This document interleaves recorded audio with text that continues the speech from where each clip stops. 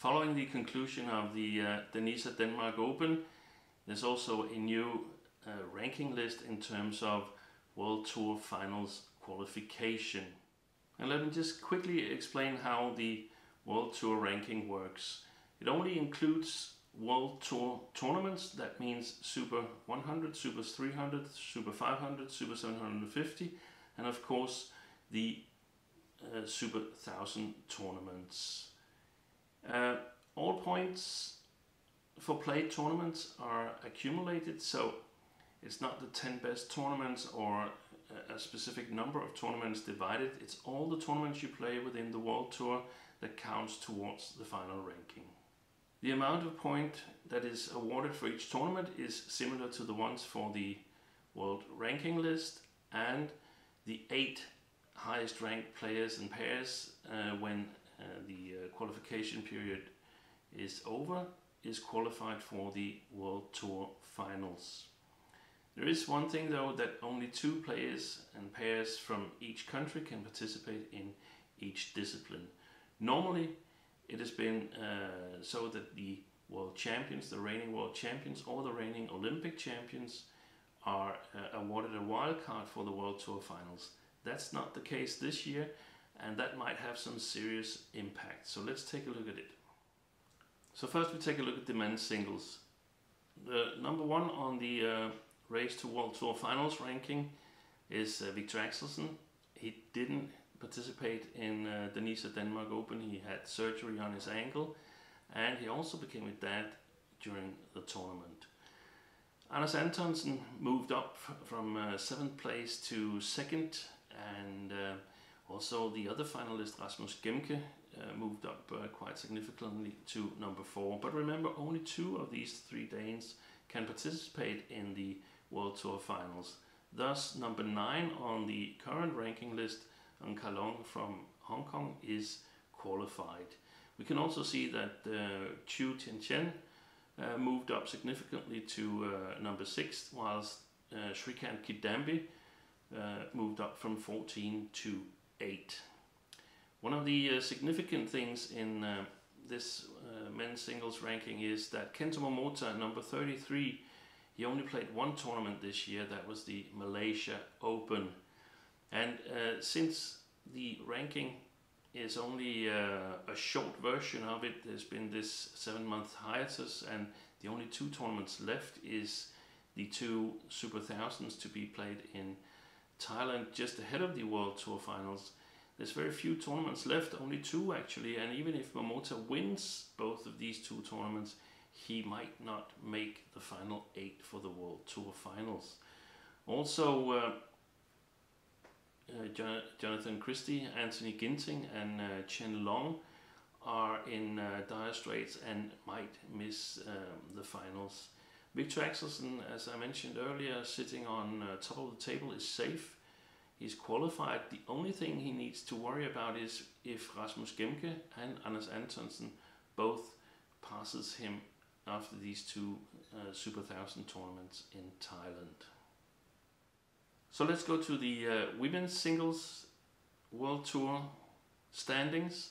Carolina Marin is um, sitting on top following her uh, runner-up in um, Denmark Open and we can see that Nozomi Okuhara, she made a big move from number 12 to number 2.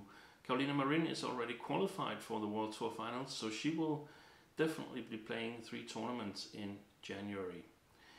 In terms of um, the other qualification spots, uh, Akane Yamaguchi uh, fell outside of uh, top 8 and uh, will definitely be uh, chasing that last uh, qualifying spot.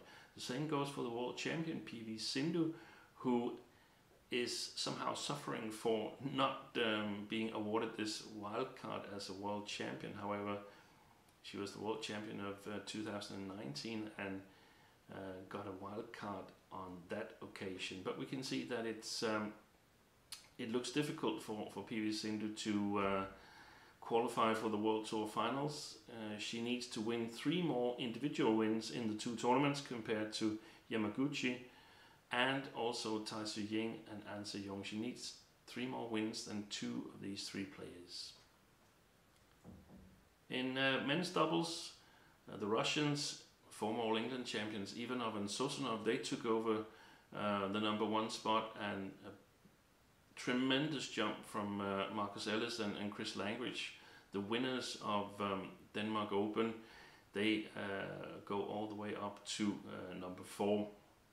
Other significant things we can see from this um, men's doubles World Tour Finals ranking is that uh, the Danes, Astrup and Rasmussen, they missed an opportunity, uh, losing in the second round to um, to youngsters uh, from also from Denmark, and we can also see that Endo and uh, Watanabe at 25th they are in dire straits, and it's looking really really difficult for them to qualify for the World Tour Finals.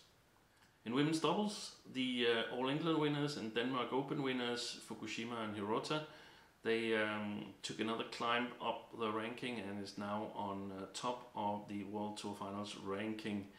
Um, Chloe Birch and Lauren Smith from England reaching the quarterfinals also uh, jumped up to top 8 from uh, a place as number 11 and it will be very very interesting to see if they can make it to the finals. It's going to be a very, very close race, and they're, in my opinion, going to be in a uh, direct battle with the, either the Stoeva sisters or the world champions, Matsumoto and uh, Nagahara. Linda Effler and uh, Isabel Herttrich is currently amongst the qualifiers, but I think they're going to be uh, in danger as um, they normally haven't really uh, been regulars in quarterfinals and onwards in the uh, Super 1000 tournaments. In mixed doubles, number one is still Marcus Ellis and uh, Lauren Smith, even though they lost in the uh, semi-final of uh, the Denmark Open. They're actually certain of qualifying for the World Tour Finals. It also looks good for Mark Lamsfuß and Isabel Herttrich. They can still be denied in theory, but um, uh, I think they're pretty safe uh, sitting at uh, number two. The married couple, the Adcocks, they took a gigantic leap from 21st up until the um, sixth spot on this World Tour Finals ranking, uh, and um, they would uh, be looking uh, for their chances to qualify for the World Tour Finals and gain some much needed ranking points there. Another thing to notice is that the Olympic silver medalist Chan Peng Soon and um, Go Ying they are in uh, in dire straits. They are down at uh, number 18, and they also have two Malaysian pairs in front of them. So both need to improve their current ranking, but they also need to pass at least one of their compatriots um, whilst moving into top eight. So that's how uh, the movements were on the uh, World Tour final ranking list after the Nisa Denmark Open. There is uh, one more uh, Super 100 tournament uh, this year here in 2020. That's in one week's time in Saarbrücken. But that tournament will not count towards the, the World Tour Finals in uh, January. The only two tournaments where you can gain ranking points is the two Super Thousands played in Thailand in January.